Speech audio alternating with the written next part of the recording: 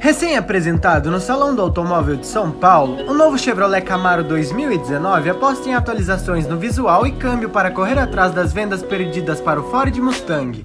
Eu sou Ian e esse é o Garagem 2.0. Com um 2018 bem fraco para o Camaro, após a chegada do Mustang, o Muscle Car da General Motors vendeu menos de 60 unidades no acumulado do ano, enquanto o Pony Car da Ford beirou as 900. No visual, o Camaro repaginado vem com nova frente mais agressiva com grade em black piano, os faróis full LED ficaram mais largos e o para-choque ganhou entradas de ar maiores. Nas laterais, o Camaro não mudou, só ganhou novas rodas de 20 polegadas que são prateadas na versão coupé e black piano no conversível.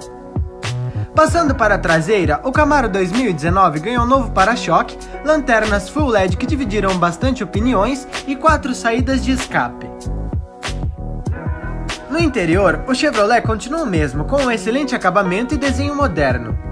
Em itens de série, o novo Camaro entrega freio de estacionamento elétrico, teto solar na versão coupé, painel parcialmente digital com tela de 8 polegadas completa, sistema de som Bose, seletor de modos de condução no console, bancos com ajustes elétricos, aquecimento e ventilação, luzes ambientes personalizáveis, chave presencial com partida remota e ar digital dual zone.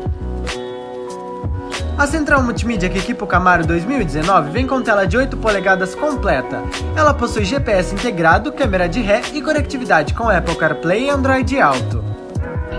Debaixo do capô mantém-se o bloco 6.2 V8 aspirado a gasolina, entregando até 461 cavalos e 62,9 kgfm de torque. A novidade fica para a nova transmissão automática de 10 marchas feita em parceria com a Ford, que aproveita bem melhor o V8. Em desempenho, o novo Camaro acelera de 0 a 100 em apenas 4,2 segundos. Também foi adicionado na linha 2019 controle de largadas e o modo Burnout. Em consumo, o Muscle Car faz boas médias para um V8, é claro, de 6,5 km por litro em cidade e 9,6 em estrada com gasolina.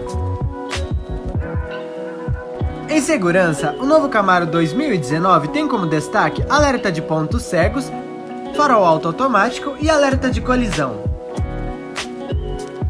Com lançamento já confirmado para meados de fevereiro, o Chevrolet Camaro 2019 chega no Brasil em versão única SS com duas configurações. A variante Coupé sai por 315 mil reais, já a conversível atinge os 350 mil reais. Mas e aí galera, o que vocês acharam do novo Chevrolet Camaro 2019? Desembolsariam essa grana no esportivo ou pelo mesmo preço iriam de Mustang GT? Comente aí embaixo a sua opinião, dê sua nota para o modelo nos cards e não se esqueçam de ativar as notificações e se inscrever aqui no canal. Eu vou ficando por aqui e valeu!